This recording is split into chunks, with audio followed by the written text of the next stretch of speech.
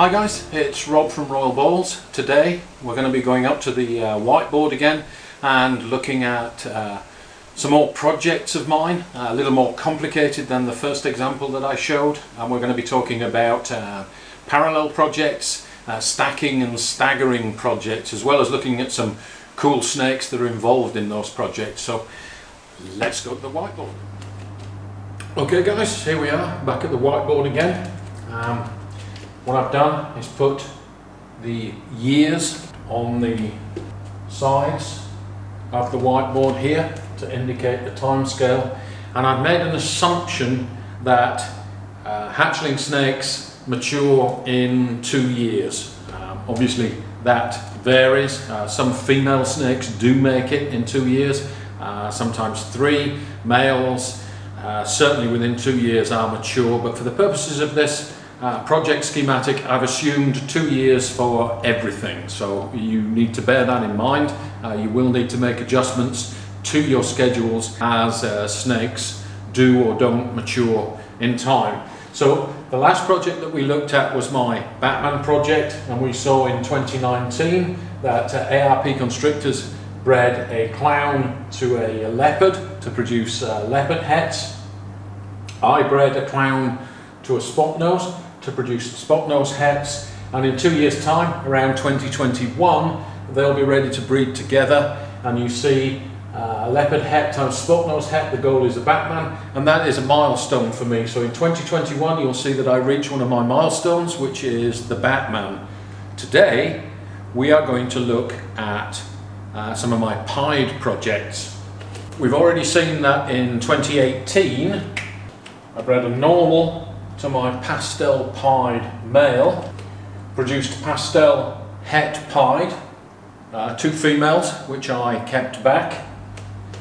I'm making the assumption that the pastel het pieds will be ready to breed back to the male in 2020. So this is Clint, the pastel pied male that I'll be using for the majority of my pied projects you can see that he is a fairly low white example. Lovely pattern snake. And he is quite nice and yellow. Uh, his offspring are also extremely yellow. So this is Clint. Clint Eastwood my pastel pied male that will be used for the bulk of my pied projects. This is one of his daughters, produced last year. This is a uh, pastel 100% het pied female.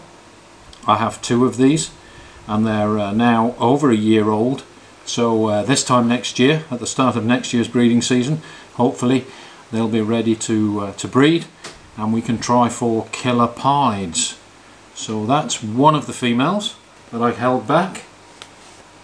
And this is her sister, almost identical. So I have two pastel het-for females, hopefully ready next breeding season to give me killer pieds. So in 2020 the pastel het females will be ready to breed back to the same pastel pied male and that will give me one of my other goals, which is the killer pied or the super pastel pied visuals. So in 2020, I reach this goal. We already saw the Batman in 2021. Uh, so you can see here 2020 killer pieds, 2021 the Batman. And this year, I'm breeding the same pastel pied male to an ivory female. That will produce yellow belly het pieds. Um, this girl here is my leopard ivory who has also been bred to Clint this year. Um, all her offspring should be yellow belly 100% het for pied. Uh, so this is the first stage in my pumpkin pied project so this is the leopard ivory or Silky Way that I'm using again with the pastel pied male. Okay, so this year I'm attempting to produce yellow belly het pieds. I am also going to be breeding the pastel pied male to a straight visual pied female. And this big girl here, if I can get her all on camera, is my pied female. Uh, she has been bowl hugging. Um, she's been bred already to the uh, pastel pied male and locked up. Uh, looks like she's going into shed. She's put on a lot of weight. Hopefully she'll give us a clutch of eggs uh, early next year which will give us pastel pieds and a visual pieds to add to my pied collection. I'll probably hold back a couple of females if we get a nice clutch from her. So this is my pied female and that will produce another goal for me which are visual pieds. I should get pastel pieds and I should get uh, visual pieds and my goal there is to increase the number of pieds in my collection for future breeding. Okay so 2019, 2019 I get more visual pieds, 2020 I get killer pieds, 2021 I get Batmans. You can also see that the pastel pied male that I used appears in 2018, he appears in 2019 and he appears in 2020. So that pastel pied male is going to be busy for the next few years on this project schedule. 2021 I should have yellow belly het pieds ready to breed to my visual pieds. So 2021 I should have yellow belly het pied females ready to breed to either a visual pied that I produced in 2019 or to the same pastel pied male that I've been using throughout this project. So he appears yet again in 2021. This pairing gives me pumpkin pieds, another one of my milestone goals. So you can see on this project plan that starting in 2018 I produced my pastel het pieds. In 2019 I'm going to be breeding more visual pieds. In 2020 I'll be producing my super pastel pieds and in 2021 I'll be producing pumpkin pieds along with my Batman goal in this parallel clown project so you can see right here that I am staggering my project goals, staggering my projects and staggering the use of the pastel pied male through successive years. At some stage during the course of these projects I want to add Orange Dream to my pied projects. So let's assume that in 2020 I can also pair my pastel pied male to an Orange Dream and produce Orange Dream het pieds, which will be ready for breeding in 2022. So by 2022, I've got yellow belly het pieds, I've got orange dream het pieds. I can mix the two and produce yellow belly orange dream pieds, which is another milestone. So at this point in the video, I'm going to show you two snakes. I'm not going to tell you what they are uh, but they slot into my project scope quite nicely. So the yellow belly het pieds that we used originally in 2021 would be used again in 2022 when the orange dream het pieds are ready with a goal of yellow belly orange dream pieds.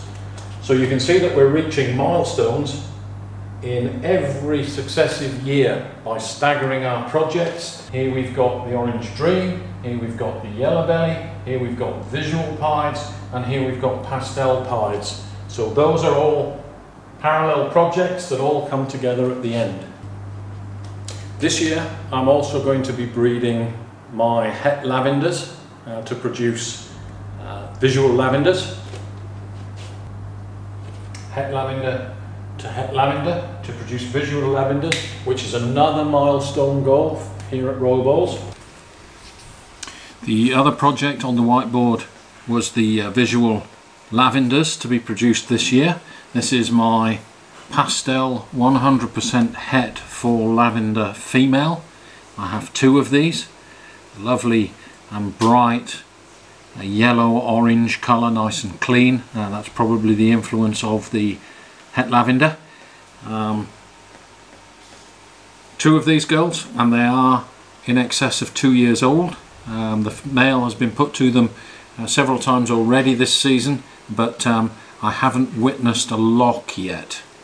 So this is one of the females. And this is the second. Pastel 100% het for lavender females. This is her sister and you can see again that she's lovely and bright and clean. The male's also been put to her but uh, no visual locks so far. So that's the second of my het lavenders. The male for those two females is this firefly or pastel fire 100% het for lavender male very active he is a lovely clean example of a firefly okay so now you see the benefit of staggering even more I have 2019 visual lavenders 2019 visual pieds 2020 killer pieds 2021 Pumpkin Pieds, 2022 Yellow Belly Orange Dream Pieds. The next step and why I put the lavender here is because another one of my goals is Dreamsicle, which is the lavender pied. Double recessive, so in two years time, in 2021, I can take my visual lavenders and I can take the same pastel pied male or a visual pied that I produced in 2019 and I can bring him across into this project and you'll notice this is the same pastel pied male that I'm using for the rest of the project appearing again over here. Again, uh, we've talked about the importance of having a powerhouse male, but you'll see how each of these projects all hinge upon that pastel pied male. He is a proven breeder, he's good to go. Um, we need to get him working. So in 2021, I'll have my, my het dreamsicles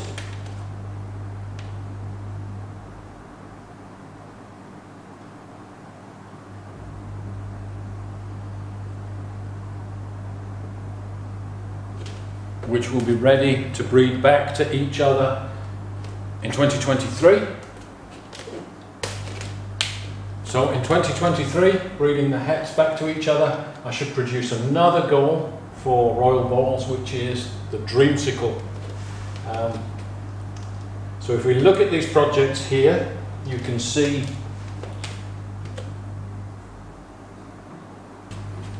you can see how the male and the projects that he is involved in have been staggered in time.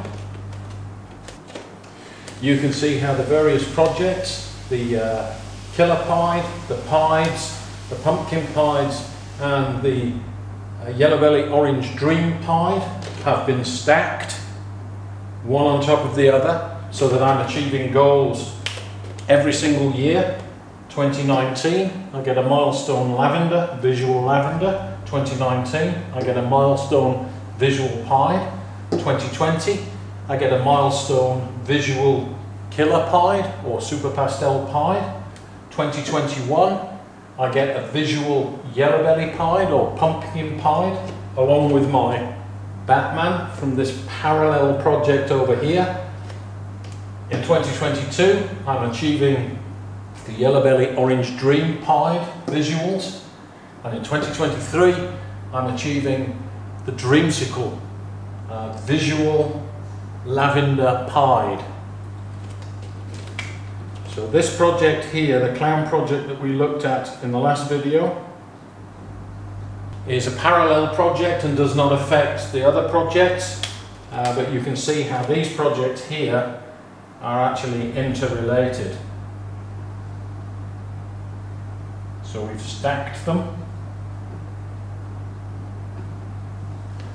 and we've staggered them.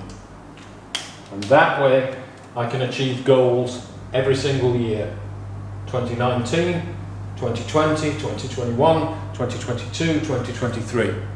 So you can see the progression of projects there and that's what we mean by parallel projects, stacking projects and staggering projects.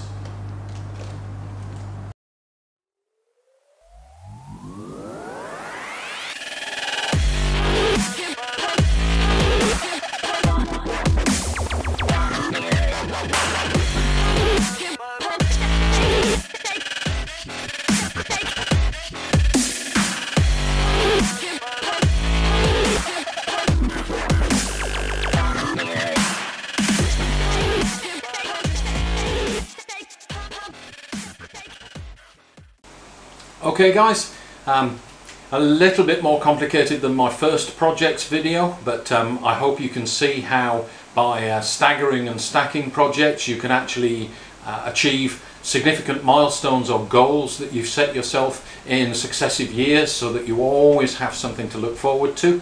Obviously your breeding plans change depending upon the success or failure of a particular year, whether you get the genetic combinations that you need or whether you don't. Um, plans can always be modified and changed. Um, so that's the beauty of having the, uh, the whiteboard and being able to visualize in your mind uh, where you want your projects to go. So I hope you enjoyed that. I hope you enjoyed looking at some of the snakes that are involved and we'll see you next time.